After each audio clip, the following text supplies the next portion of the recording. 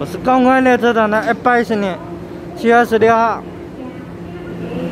那个瑞芳站了，二十一点十六分，坐班是二五二次哦。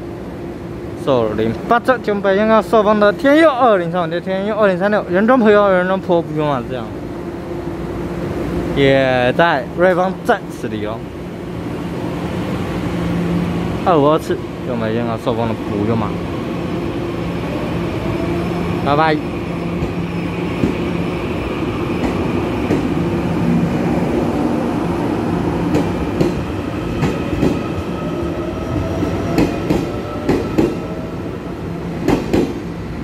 那个就是说，下面干嘛？咱们都到对面那就完了。